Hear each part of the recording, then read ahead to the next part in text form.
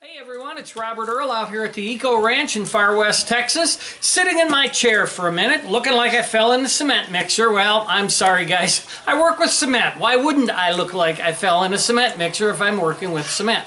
But today we're not working with cement. This is number two. This is so far the hottest week of the year. We're running about 103, 104 in the afternoons, and it just isn't worth it. But what we are going to do is we are going to make prickly pear juice. Aha! There's a lot you can eat out here in the desert.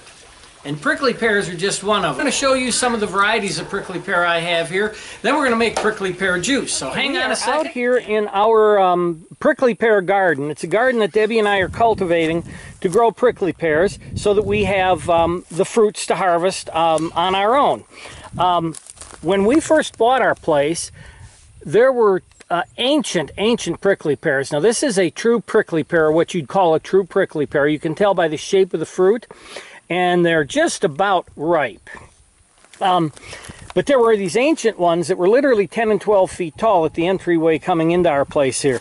Well, the first year we moved in, uh, they were wonderful. The next year we had a drought, and the rabbits, if you look down here, you see how this whole little, this is a young prickly pear, but you can see how it's supported by just that one root there, or that one paddle, I should say, that's in the ground.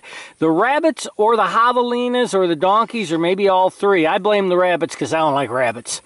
They got in there on those ancient ones that were still supported by one, not all the way through the base, knocked them over and killed them. So almost all of these babies out here in my garden, there's a look at it, came off of those dying uh, plants. They were. I, I waited till I was sure they were going to die, and then I harvested them. So these are true prickly pears, mostly. This is a Joshua tree. You can't eat those. Then I got some spineless prickly pears. And the spineless ones, they mature a little later, so these, these fruits won't be ready for a long, long time. Um, then you have the, um, I don't know what to call them. I just call them not prickly pears. These are the not prickly pears, and you can see they're long and slender. There is a lot of good tasting juice in these, but this juice is green. So I do harvest these, but I, I really don't, um, you can see I've let some fall off. Debbie's going to get out and harvest them right now. So what's that, three? Three varieties. Then there's this one. I think I'll open it in this video here. I'll open one in this video. This came from Arizona, and they call it a desert fig. It's a variety of a prickly pear, or a paddle cactus at least. And I have uh, uh, three plants. This one got, oh, what, what, what it looked like, about 15 fruits there. Two fruits on this one and none on this one. They're all desert fig, and they should get really big. So that's, that's the plant. And the fruit juice is absolutely delicious. You can drink it straight. You can mix it with stuff.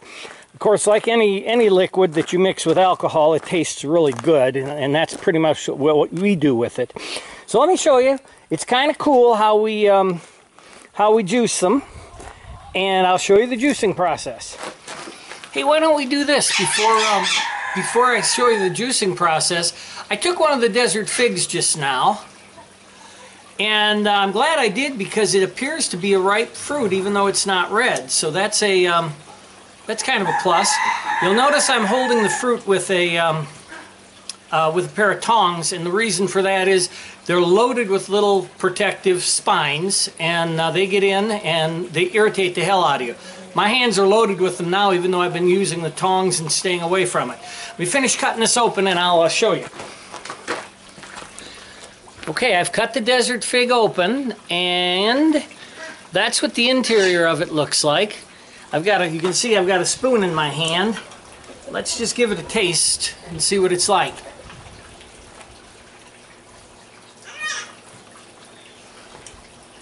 Um, now I have a mouthful of seeds and that happens, I'm gonna spit them out.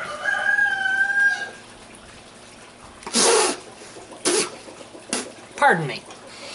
Um, you know what it tasted like? It tasted a lot like natural applesauce. If you if you um, you know make applesauce without um, um, without sugar, that's what it tasted like. I gotta tell you, it's really good. I'm gonna save that other the other half of this one and I'll eat it in a little bit. but um, quite tasty. So that's the desert fig. I'm, I'm glad we did that, and I'm glad I did it on camera, and you got, y'all got to see that. So let me eat this one, and we'll move on. Mmm. You want one? Chicken? There. You can't see it, but the chicken's eating it. Well, we've been having a field day today. Um, like I said, I set today aside. I didn't want to do any work out there. So I've got a bunch of meat to cut up, and I've got all these to do. So we set this day aside for prickly pear and other work. The uh, desert fig is down there and that chicken is just having a field day with it. Now, if you know anything about prickly pears, one of the complaints people have with it is when you try to get juice out of a prickly pear, watch this. You get slime. It's snotty looking and it actually, and, and, and don't tell me you don't know what it feels like. It actually feels like snot in your mouth and it's gross. It's sweet and it's wonderful. And if Andrew Zimmern were here, he'd have. Let's see. I think no, he doesn't like slimy stuff. But anyway, he'd drink it anyway. Um, this will not go to waste. I just wanted to show you. Look at that. As Marvin Zindler in Houston used to say, there's slime in the prickly pears. I think it was in the ice machine, but okay. I'll have a drink with that later. I'll put it in the refrigerator now. But I wanted to show you what you typically get then I'll show you what I get and the way I get it. And there's going to be a hundred comments and emails that are going to come to me from people that have a different way and a better way. I understand. Send them if you want. I'll read them all. I'll post them. But we've all got to have our own way of doing stuff. This is the way I've developed to do it. I think you'll. Um, uh, I think you'll have fun watching. Okay, I think you can see my workstation. You don't have to see me. Um, with what we're going to do here is, is, I'll show you how I cut them up and that. And I think here's what I'm going to do with the other half of the um, of the um, desert fig. Uh, I'm just going to put it in here. Now, what is in there? Well, all right, now I'm holding in my hand a bucket that weighs about 40 pounds, 45 pounds. Yeah, I strain it that kind of weight, guys. Completely full of prickly pear fruit. Prickly pear fruit if I don't say this, I'm going to get the comments. For some reason, somehow, it may be that that's the Spanish name for the fruits, but they aren't prickly pear fruit. They call them tunas.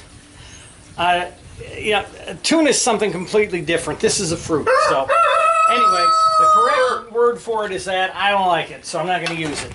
Now, that slime that I had, as near as Debbie and I can figure, it comes from if you macerate the skin.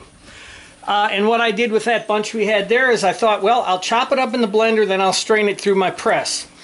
Well, the slime came through, so I believe the slime is all contained in the skin. So what you don't want to do is chop that skin up. But what you do want to do is two or three little cuts. This knife that I'm using is a um, one of the Ginsu knife sets. Remember those Ginsu knives that were so popular years ago? Nobody buys them now. They're still a good knife uh, and it cuts it real nicely. So I pick up the fruit, hold it with the tongs. You can cut it in half, two, threes, fours, just hack it a little bit, but you don't want to chop that skin up. So you notice that I'm taking them and I am um, cutting them up, putting them in a pot, and the pot's got a shroud on it. Well, that's cheesecloth. If you don't have cheesecloth, which every kitchen should have cheesecloth, which brings me to something else too. Hello.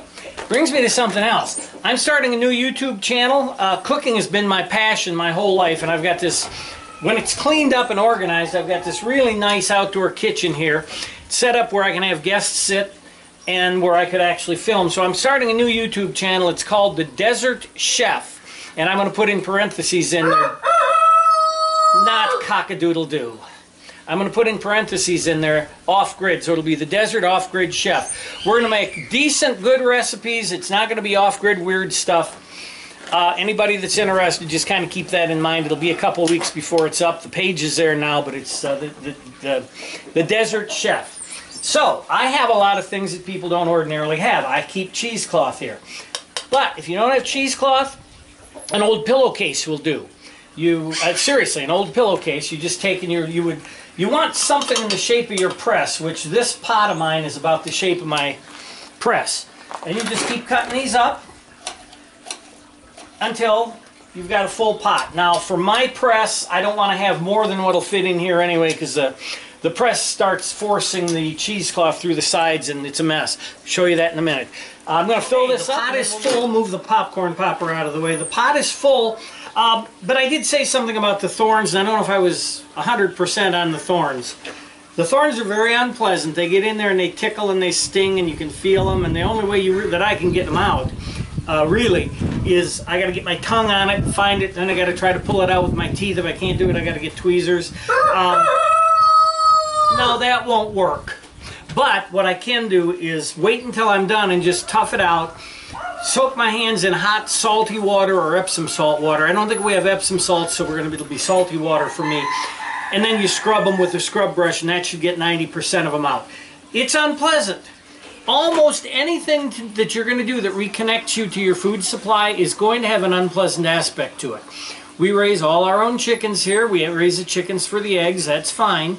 We also raise the chickens for the meat. Yes. And if you're raising chickens for meat, there's something you have to do, and that's kill them and clean them. Unpleasant. There's an unpleasant aspect to almost everything you do that connects you to your natural foods. Um, but in addition to connecting you, it also um, makes you respect the food more and understand where it comes from and why, and hopefully be a better steward of the animals. So anyway, this unple and, and my hands are really bugging me at this, but it's okay. I'll go. I'll finish this job and then we'll get them. Get rid of the thorns. You're going to gather up the cheesecloth. Now the reason you're gathering the cheesecloth, like so, I kept this tail here. I didn't cut it. I just took one corner and made it, wrapped it around. Now this will pull all out in one piece like so, and it's going to go in the press. So I've got to move the camera to set up and show you the press. So here's my press. Now I'm going to get this and talk at the same time. That press is a Yakima. That's the, na the name of it. It's a Yakima fruit press. Yakima also makes cider cider presses, and the only reason we don't have a cider press, there was a little juice I poured in. The reason we don't have a cider press is when I bought this, it was still at a time when we had very, very little money. And all we could afford was this. In retrospect, I would have bought the cider press, and it's a good investment, but I would have only gotten probably 20% more juice anyway out of these, out of a cider press. So, let me put this together. You saw me put the top in, right on top of my cheesecloth. I have to put the press together. Okay, the press is together and all set up. You'll notice it's a worm screw. The worm screw comes down and presses that uh, cap down and smashes this up. And the difference between a cider press and a fruit press, which is what this is, is the cider press, you can just yard that thing really, really down there and get every last little drop out.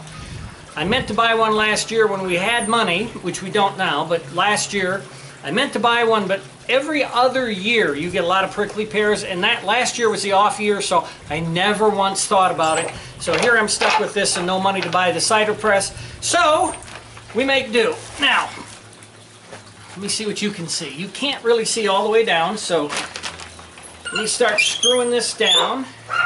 So I screw this down. Um, it takes a bit, of course, it's going to take a... Now I have juice coming out. And the juice is... The juice is running. I'm going to just tip this. The juice is coming out the hole there, and you can see it running down my little uh, improv piece of um, tinfoil into a stainless steel pot. And I just do that till I think I have enough to put in a bottle, then I'll bottle it up. And I'll bottle it up, and I'll bottle it up different ways. I happen to have an empty liquor bottle here, so I put put it in a li liquor bottle, and you want to be sure you name it. Pee-pee juice. So it's named pee-pee juice, and you date it. If you leave it out like this, it will begin to ferment, and of course, it'll blow up because I've got a good tight cap on it, so it's going in the refrigerator. You can also make a liqueur out of it. If you don't want to ferment it, you can make a liqueur out of it. And, you know, there's all kinds of recipes that you can do for that. Uh, but what we do is I'll freeze a couple bottles of this and put the rest in Ziplocs and we'll have them throughout the year. Now, I know what you're saying. It seems like a lot of work. And it is a hell of a lot of work, and you hate doing this work. There's me with the with my bad shoulders and back. This is extra hard for me, but you hate to do the work today. But tonight, when I mix a drink with prickly pear juice, it won't be so bad. And in October, I won't even remember all this, but I'll still have prickly pear juice to mix in with uh, liquor, liquor uh, or whatever I want to do with it. Uh, I'm also going to cook with it today. I'm going to make a prickly pear um, a marinade, a prickly pear marinade, and we're going to marinate chicken breasts and cook them. So it's not only a liquor, it's not only a very healthful drink, uh, uh, something to mix with liquor, excuse me, or a healthy drink on its own, it also is a damn nice marinade. So that's, um, that is how you do it. And I'm going to keep going and hopefully I'll get this done and I'll finish the video when I've got a pot, um, almost a pot full. Now the thing is, you saw that that little pot I had was full and we put the uh, fruit in and pressed the fruit out. What we're getting here, I think it's very similar to grapes actually. That whole big pot of prickly pears, I'm only getting about, um, about a half a cup of good sweet pure prickly pear juice with no slime out of it. That's all there is. I'd get a little more if I had a cider press, but um, I can't. If I tighten this any more, it will split the uh, cap on the inside, the cap that's pushing down. So that's it. I'll come back and finish the video once I'm done with that whole big bucket, which will take me a good two and a half. Well, as sometimes happens, the weather doesn't cooperate with us the way we'd like to see it. Um, but in this case, it was good.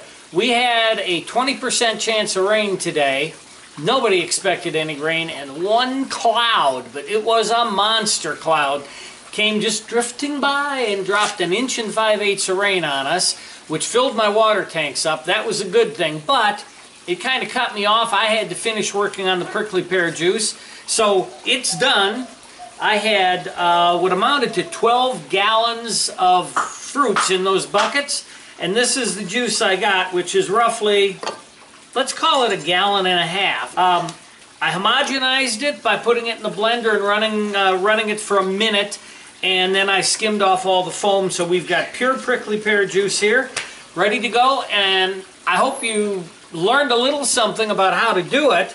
Um, learned that you can get some pretty decent stuff out of the desert, because this is tangy and tart and sweet at the same time. Um, and you can use it to marinate meats, you can use it to cook with, um, you can use it, like I said, to make wine or mix with alcohol, my favorite. Um, and use your imagination. But pure juice cost me nothing except about 150 pickers in my hands that I'm going to be dealing with for three or four days. But like I said, come October, I won't remember them, but I'll still have some juice left. So, until next time, folks, it's Robert Earl at the Eco Ranch. Bye for now.